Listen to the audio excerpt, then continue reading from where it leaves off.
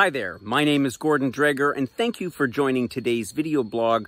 Our topic is seven considerations for those planning to go on a European river cruise.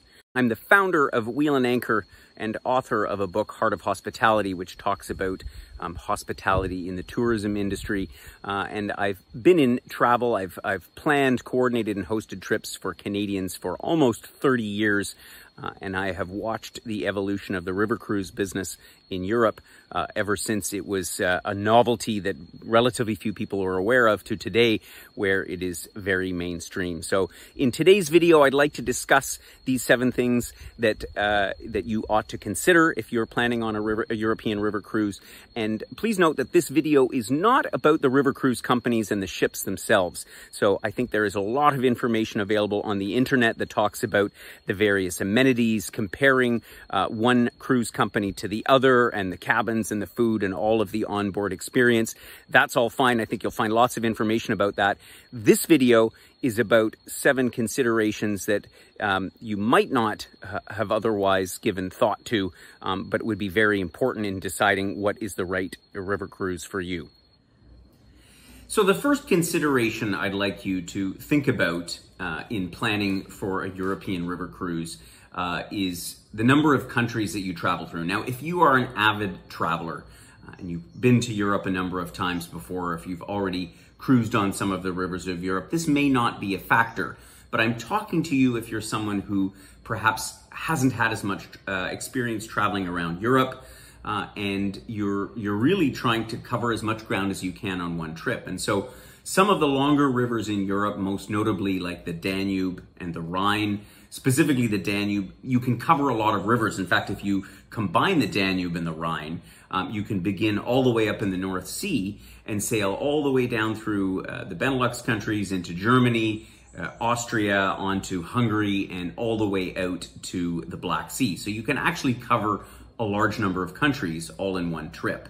Uh, the uh, the Rhine River, for example, as well, um, which begins in Switzerland, uh, you also travel through a number of countries. Uh, and so you can really cover a lot of ground if uh, if it's an important factor for you to, to, to sort of cover a lot of, of, countries on one trip. So for many of you, this may not be an important consideration, um, but certainly uh, a lot of the river cruises uh, in France, for example, the Seine, uh, the Dordogne, the Rhone, are all pretty much inside one country. Not that that's a bad thing, but if an objective is uh, to to cover a number of countries on one trip, then then you know those would be less ideal for you. So um, that's factor number one. The second consideration, um, which is much more important, is choosing between a popular or a less popular river. So let me give you a couple different examples. If you have cruised on rivers in Europe before, you're likely to have cruised on, for example, the Danube or the Rhine. And those two are undoubtedly the most popular river cruises in Europe. And why is this important? Well, they're popular for very good reasons. Um, they're popular because there's sort of an optimal distance between stops along the way. Um, and you have some beautiful scenery, particularly, uh, and I'll talk more about scenery uh, in one of the other considerations in scenery and landscapes.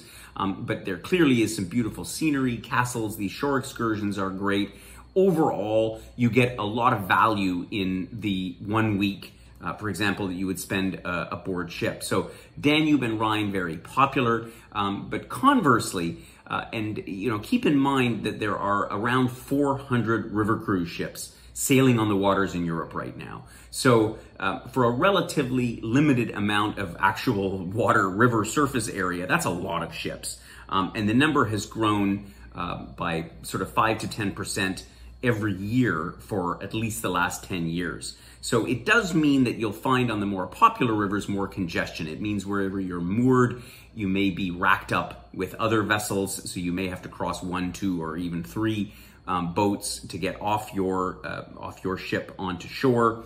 Um, it means that the ports themselves, um, some of these quaint little towns, um, may be busier because you'll have more than one ship in at the same time.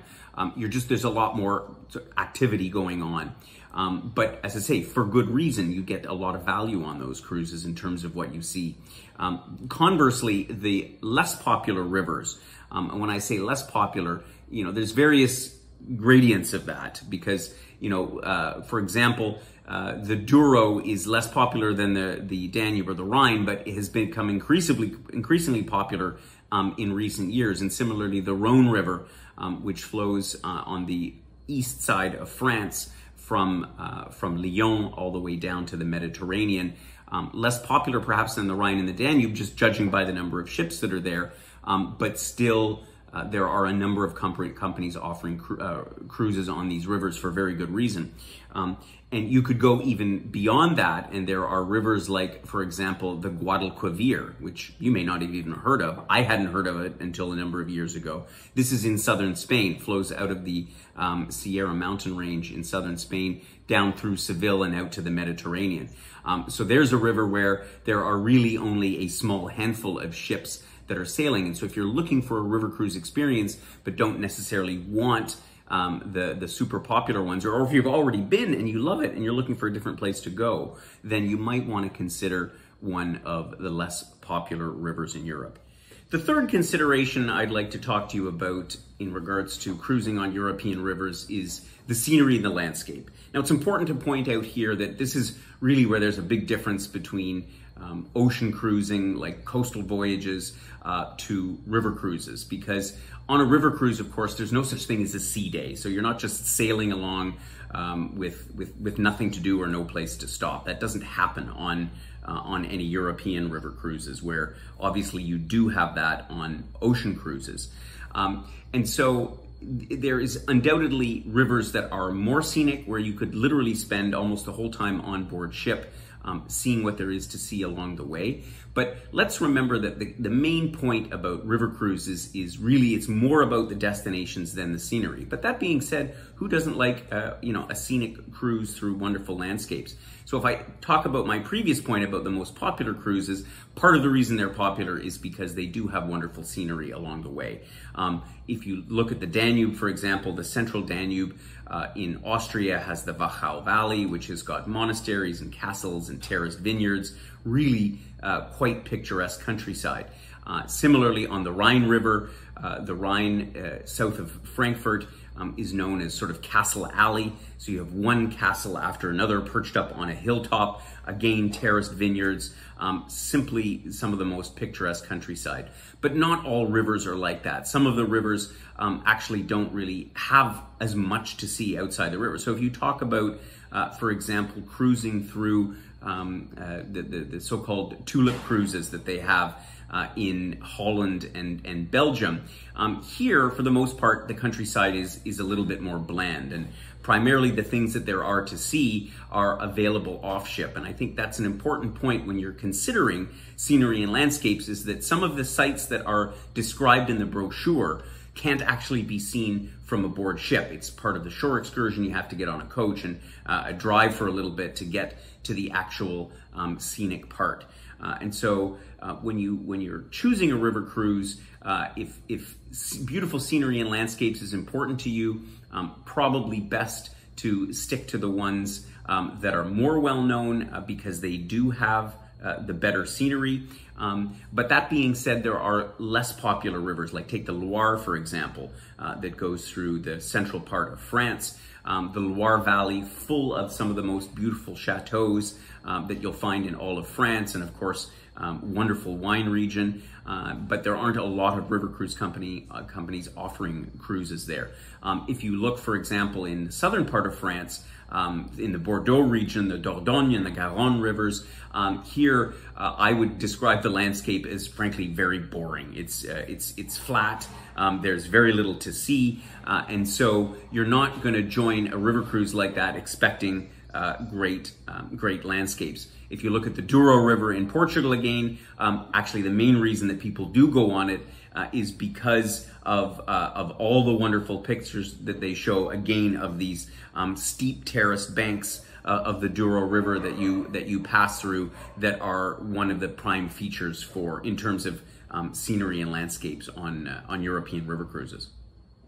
So let's talk about the fourth consideration in selecting a European river cruise. Um, and this is the mooring locations where your ship will actually stop at the various uh, towns and cities along the way. This is a very important point, actually. And what you'll find is, is that Um, often that information is um, it's certainly available from the River Cruise Company, but you sometimes have to dig a little bit deeper, and it's important um, that you you do that research and you familiarize yourself um, with where your ship is actually going to be docked. Um, in the very at the various ports along the way, um, because one of the virtues that is extolled by by river cruise lines and um, certainly is is a big selling point is the fact that you can um, walk on and off the ship and, and do your own thing, that you don't necessarily have to participate in the shore excursions. And I'll talk about shore excursions in just a moment.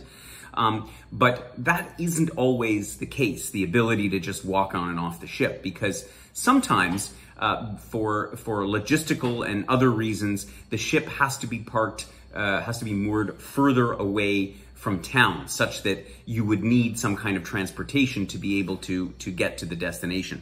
If you take, for example, again, talking about the popular rivers like the Danube, um, in Vienna, the Danube passes um, outside uh, the downtown part of Vienna by a couple of kilometers. So um, while there are taxis readily available, um, you, you, you have that extra amount of sort of planning and time um, to get from the mooring spot um, into town. Uh, you can, in, in the case of Vienna, you can also take a public transit, but involves a bit of a walk to the subway station, um, and then several stops to to get into the into the center of town. Um, on the other hand, if you look at Lyon uh, in France, on the Rhone River, or where the Rhone and the Saône rivers uh, converge, um, the ships there are very much within walking distance of uh, of the uh, of the old town of the central central part of of Lyon. Um, similarly, Budapest on the Danube, uh, the ships are generally parked right uh, across from the Parliament buildings, close to the chain bridge, within walking distance of uh, many of the things that you'd want to see. Um, on the other hand, in Moscow, for example, if you're on the Volga River, uh, it's 45 minutes to get to um, uh, to to the central Red Square and the central parts uh, of Moscow from your river cruise ship. So you really do um, need to, to plan your day. You can't just conveniently walk um, on and off the ship. Uh, and talking about the tulip cruises that uh, be often begin and end in Amsterdam, um, sometimes you'll get lucky. Uh, and some of the river cruise ships are actually parked quite close to um, Central Station, uh, the main railway station, and the center of town in Amsterdam. Often they are uh, quite a bit further away, again, owing to the number of vessels. So it's important that you um, look into that, know, ask the question, where is it my ship is going to be parked? And also relative to the excursions and the activities that you want to do. If you're somebody that likes to do things on your own, um, it's going to be important to choose a river cruise, um, uh, either the itinerary and the cruise line that have you um, have mooring locations that you can um, you can readily go to the places that you want to go uh, on your own steam. The next point I'd like to discuss is about the starting and ending point of your cruise.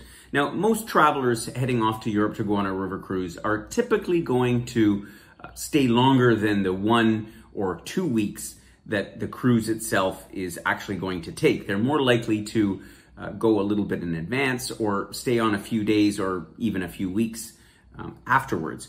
And so it's it, then important to take into consideration where you're going to start and where you're going to end your cruise.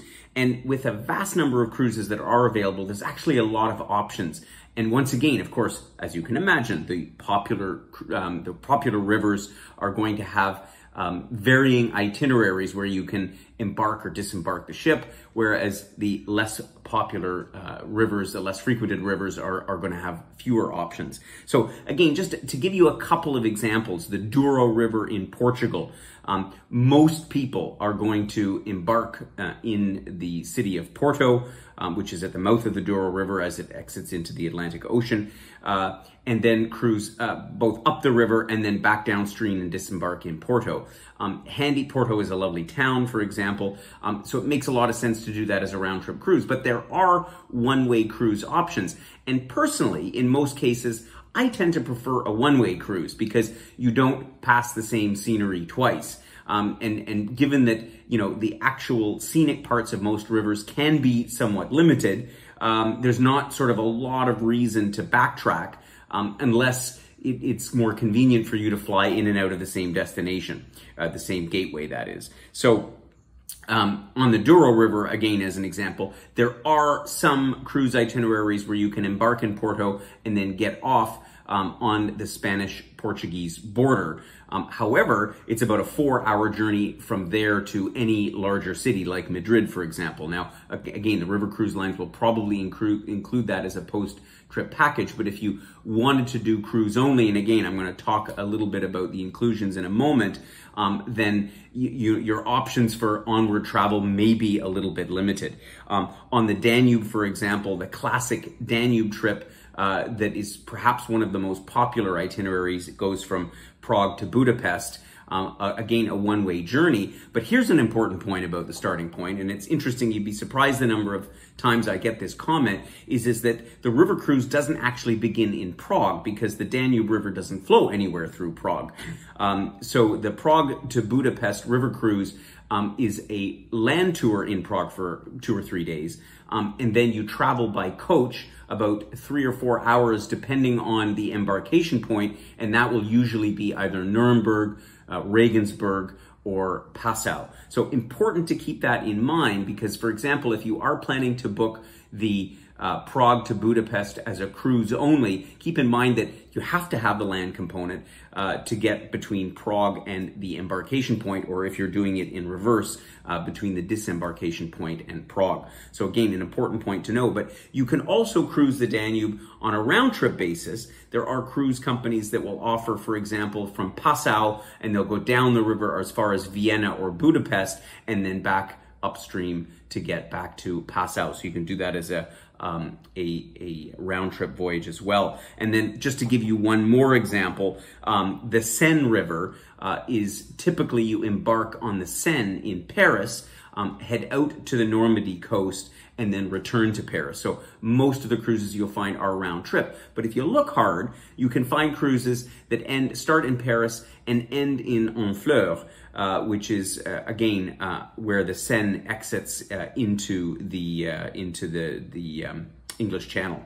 And so if you are, for example, planning to go on that cruise because you've read all about um, visiting the World War II landing sites, the beaches of Normandy, and so on, um, that's fine, but you won't have a lot of time on the cruise. There's a lot of ground to cover in one day. So you'd be better off finding that one way cruise uh, and then ending your trip, for example, in, um, in Honfleur. So very important to keep in mind the starting and ending points of your trip. So the sixth thing I'd like you to consider when you're planning your European river cruise is when to go. Now, of course, everybody would like to go when the weather is perfect, when it's 22 or 3 degrees and the sun is shining and it's dry every day. Um, that's obviously the on, on everybody's wish list. Um, the reality in Europe is that you know their sailing season is is longer because spring in Europe comes earlier and fall typically comes later than what we're accustomed to in Canada. So that's generally good news. Now, most people look to book in the months of May and June and September and early October. So that's the peak season for river cruising in Europe. And as a result, the prices are the highest, the ships are at their busiest, um, and generally speaking, um, it's those that's kind of the busiest time to travel in most places in Europe. So it comes with um, the, the, um, the, you know increased numbers of people. Now, July and August, summertime, you would a lot of people think that July and August uh, is uh, sort of the peak season to travel, and it's certainly a good time to go to Europe. But remember that Europe, particularly in recent years, has been become quite hot in the summer season, particularly southern Europe, particularly if you're considering uh, the Rhone River or the Guadalquivir or the Bordeaux region, the Dordogne or the Garonne rivers. Um, and so I would probably sway away from that if you're somebody who's not a fan of a lot of heat because it can easily get into that to the high 30s and 40s at that time of the year. Um, on the other side of the coin, uh, if you travel uh, early in the season, so a lot of river cruise companies are starting as early as late March and April, um, or if you go late into the latter part of October, November, and even December, um, the prices can be half or even less what they are in peak season. So it's worthwhile to consider that. Um, November at home can be a lousy time of the year uh, to, to, to be at home. A lot of people like to travel in November. And while you're certainly not going to get 22 degrees in all likelihood, uh, certainly in Central Europe, um, it is, it's possible that you'll have decent enough weather that you'll have a good time and you'll save a lot of money in the process. Another important thing about choosing the time of the year is water levels. And of course, with climate change, this has become a more and more important factor. So in the springtime, if they've had a, a season, a winter with a lot of snow or a lot of rain, the water levels can get quite high. And some rivers, like the Danube, for example, have certain bridges where the river cruise boats cannot pass underneath if water levels are too high. Now, that has been less of a problem in recent years as opposed to the opposite problem, which is water levels being too low, and that happens in August, in September.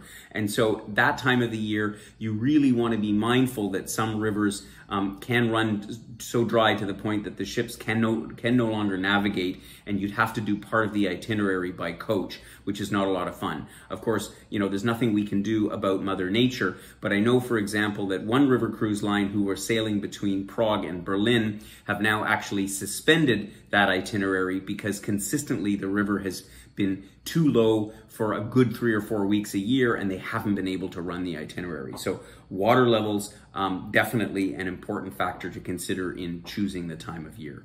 Um, and one other point I want to make is the Christmas markets. And if you haven't been to a Christmas market in Europe, you kind of owe it to yourself. They're a lot of fun. Um, there's a lot of tradition and authenticity, um, and often the music that's played and the food and drink and the crafts that are on offer uh, are all very uh, traditional, homemade. Uh, it's a wonderful, wonderful experience. And Christmas markets cruises um, are also because they happen obviously from the end of November until uh, beginning middle of December. Um, it's the off season, and so pricing can be very, very good. So that's a, a little tip for those of you that might not have otherwise considered to go at that time of the year. I can recommend the Christmas market cruises. And so the last point I'd like to discuss with you about uh, choosing your European river cruise are um, what's included. And when I talk about what's included, I'm specifically talking about um, the shore excursions. Uh, I think it's important also to look about look at carefully at the inclusions on board the ship. Uh, you know whether or not, for example, beverages are included with meals or all day long or not at all. Um, those are important factors as well. But let's focus for a minute on uh, the excursions. And I think one key point here is, is that, uh, again, as I discussed before, a differentiator between ocean cruises, big ship cruises, and river cruises is, is that you're not generally going for the onboard experience. It's it's here with River Cruise. It's all about the destination. The ships are small; they don't have a lot of amenities on board. Um, and so, that being said, um, I don't want to, for a moment, a, um, uh, uh, alienate those people who may be going for uh, just to stay on board the River Cruise ship.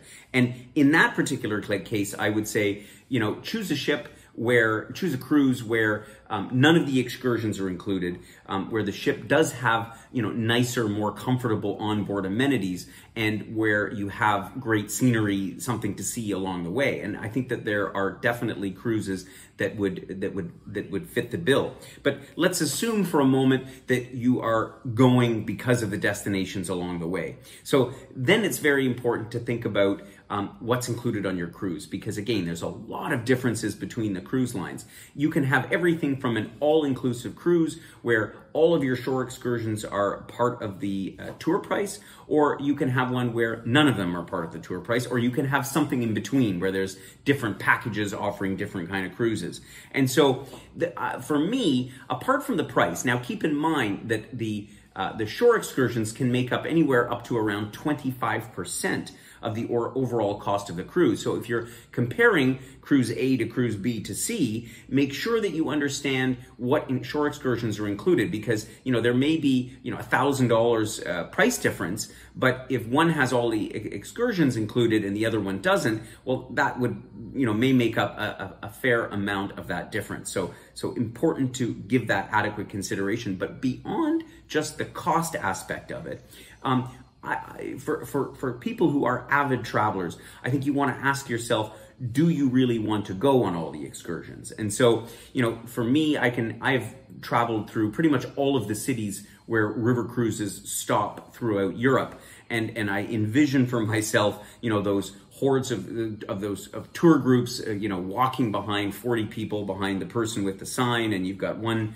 uh, one company after the other, um, and it's kind of the experience that uh, a lot of our travelers, um, you know, tend to want to avoid, um, and so uh, I, I think that again, the benefit about river cruises is that in many places you can go off and do do your own thing, and so you really want to decide do I want to participate in all the excursions or some of the excursions or maybe none of the excursions? And, you know, in that particular case, what my suggestion is, is that for the popular routes, and again, I've talked about this a couple of times, for rivers like the Danube and the Rhine um, and the Douro, um, you, you, there are a lot of options when you arrive in these various ports. So I would be inclined to say, oh, maybe I'm not going to take the included excursions. Maybe I'm going to do my own thing. Um, and even uh, if um, uh, the, the, the, destination that you're visiting from the river is a little bit further away, often you can find companies who will provide like private tours or even just a local guide, or you can just go out and walk around on your own and, and avoid sort of the uh, you know, the congestion that comes with all of these included um, uh, shore excursions.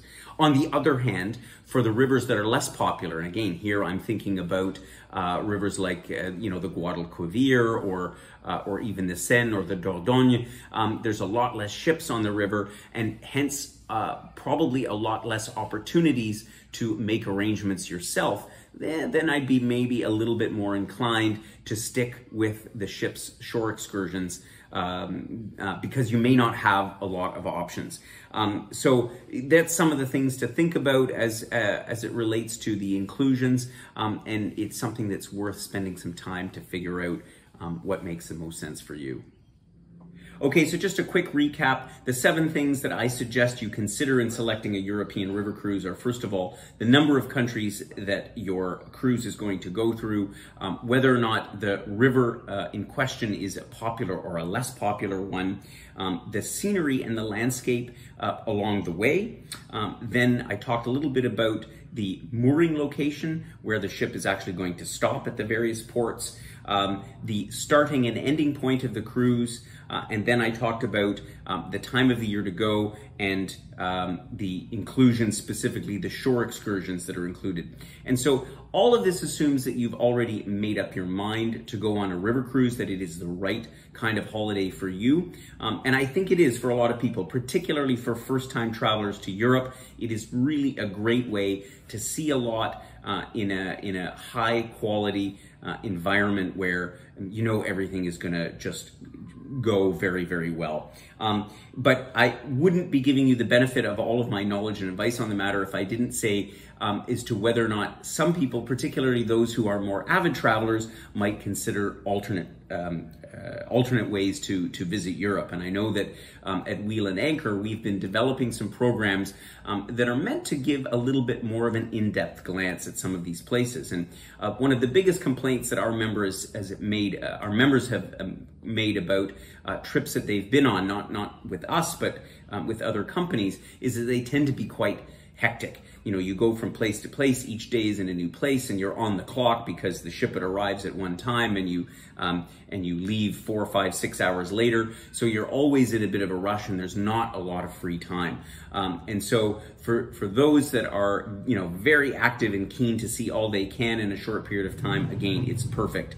But we find a lot of people are interested in um, a more leisurely experience and taking the time to actually stop and just have a coffee or have a beer or a glass of wine along the way and people watch. And and uh, so you know we have developed and not just we other other uh, travel companies as well have developed um, programs that allow you to go at a bit more of a slower pace. And in our case, we have um, our long stay programs, which we're launching in Europe, um, that go to destinations that aren't necessarily river cruise destinations. Um, but we also have our five by five programs where we spend five nights in any one um, stop uh, on the itinerary, and that enables you to um, see the city or town itself, also the environs, but also have time to do things on your own. So There are alternatives to consider to river cruising, um, but don't get me wrong. I think river cruising, cruising is, is amazing. Uh, and I think that once you wade through all of the information that's out there, you'll find the one that's right for you. If you have questions at all, I'd love to get your feedback. I always like to hear from our members about what they think about river cruising. Uh, and uh, we look forward to being able to include some in our upcoming programs as well. So all the best. And uh, when we can get back to it, I wish you happy travels.